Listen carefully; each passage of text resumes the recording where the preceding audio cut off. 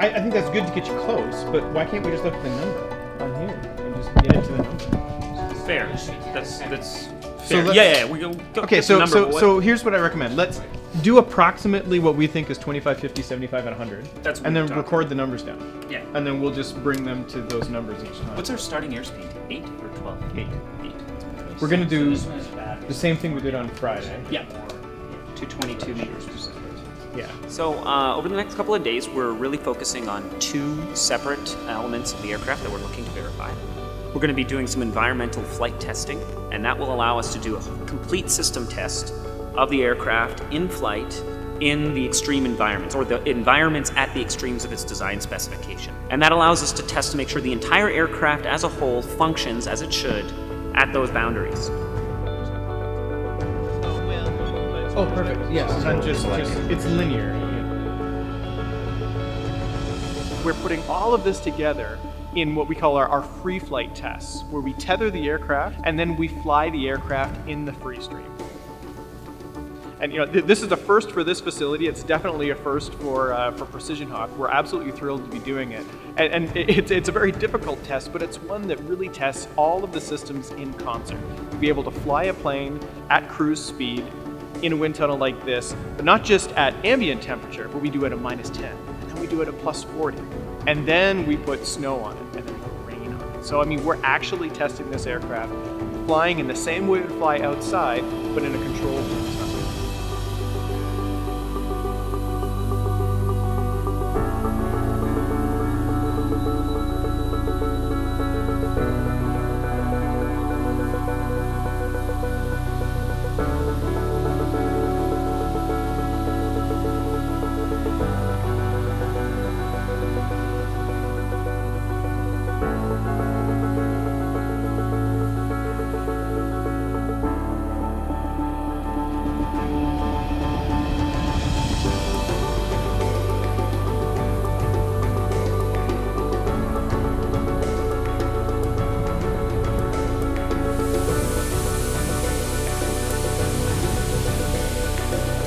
Test programs like this are absolutely critical to how our engineering team operates. We start by defining uh, certain environments that we need to be able to operate in, certain things that the aircraft must do in order for it to be useful for our client base. And so doing tests like this, take that aircraft and put it right in the environment that we want to operate. The inside of the aircraft is dry. I mean, we can see that, that it's wet. We've opened it up. We've taken a, a, we're not swabbing the entire aircraft, but we can't see any water droplets on the inside of the aircraft, meaning that the propeller has largely protected all of the openings on the aircraft, preventing any kind of water ingress from getting on the electronics and causing any kind of damage, which is a really good indication that this aircraft can fly in a light drizzle. That's excellent. It's excellent. the environments that are applicable for uh, agriculture, applicable for oil and gas, applicable for insurance, mining. Um, and it's, it's critical to us that we test in those environments because those are the environments that, that it's actually being You know, we can sit down in our offices with pencils and papers and calculate until the cows come home. But ultimately, when we take our aircraft and we put it in a situation like this, we understand firsthand what's going to go wrong. You know, in a cold day like today, we're doing cold testing today to mimic some of the work that we do in oil and gas and insurance. Um, it- we may see a servo freeze, or we may see control surfaces with problems. These are the kinds of things that we can predict ahead of time, but we don't know for sure until we actually do the testing in an environment like this. Oh, the pitot's hose. So the next set of tests that we'll be doing won't be done in the wind tunnel per se. They'll be done in the multi-axis shaker table. And in that case, we'll be mimicking landing forces and the forces, uh, the aerodynamic forces on the aircraft while it's in flight.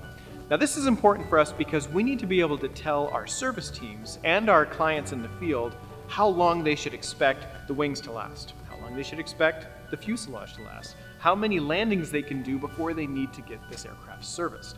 Uh, it's, it's incredibly important for safety, and it's also obviously very important for the clients to get the data that they need. Okay, we're, we're doing like 90% of what the table can do, right? I know, So this I- is a, this is this is way more than what uh, than what we're going to see in flight. This is, this is gonna be really good. Yeah.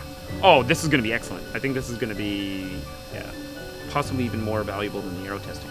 I think we're going to look, go back and look and see cracked seams. I think we'll the see crack- solder. I don't think we're gonna fly. So No, no, But well, yeah, fly- I, I I think, mean- I think we're gonna crack the solder. Yeah, we're gonna crack the solder and we might lose some to debris. We're going to be doing certain shakes that will mimic what, uh, what kind of aerodynamic forces the rudder will see in flight.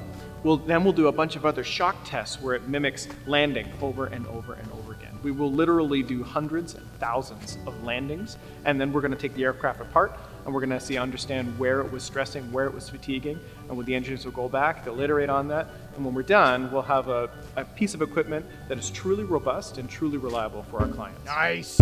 Oh man, That is perfect. it's gonna be like, who's beating a drum? I know. who's playing music right now? I'm busy testing. I can honestly say this is an engineer's dream. Um, so, some of the most difficult parts of engineering systems like this are is trying to recreate the environment that we're operating within.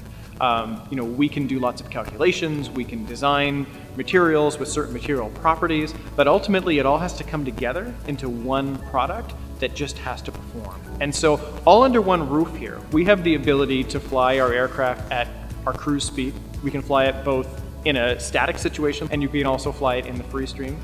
Just behind us, we can go to uh, a, a multi-axis load table where we can now impart um, aerodynamic loads and landing loads on the aircraft. Uh, and we can do all of this at temperatures ranging well beyond our operational ranges of you know minus 10 degrees Celsius up to plus 40. We can go beyond that. We can truly, truly stress this aircraft to the max. And, and, and I can say that even since we've been here, we have found small changes that we need to do to this aircraft that have already saved our company tens of thousands of dollars um, just in the data that we've collected to this point already.